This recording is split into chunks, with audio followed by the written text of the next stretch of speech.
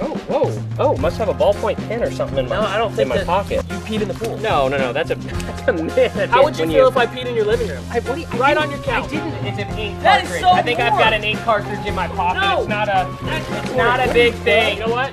Blue Gatorade. That's culprit. White cherry. That doesn't make a lot of sense. It was a Gatorade. We figured it out. Did not think that was a thing. Wow.